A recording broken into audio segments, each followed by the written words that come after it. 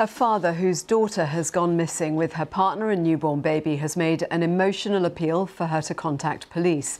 Constance Marten and Mark Gordon were last seen on CCTV in East London more than a week ago. Officers say Gordon is a registered sex offender who spent 20 years in prison in the United States. Napier Marten, who's estranged from his daughter, made a plea for her to turn herself into the police in comments made to the Independent website.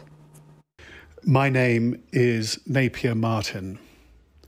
I am grateful for this opportunity to appeal directly to my daughter Constance, following the public revelations concerning her partner, Mark Gordon, and having lived with the family in great concern, knowing of his past record for some time.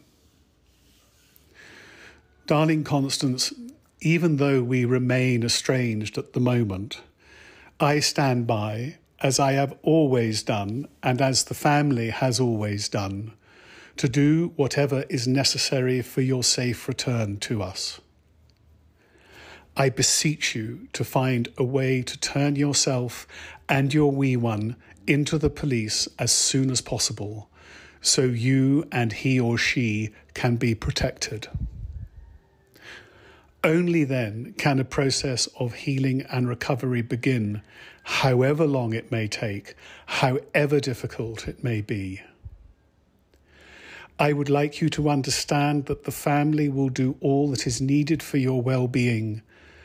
And I also wish you to understand you are much, much loved, whatever the circumstances.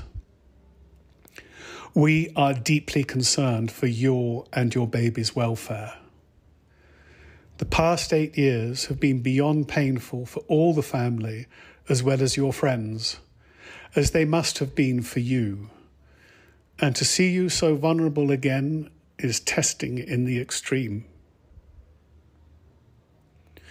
I would like to extend my gratitude to the police for all their endeavours in bringing this tragic episode to a swift and safe conclusion and appeal to you, please, Constance find the courage to present yourself to the police as soon as possible.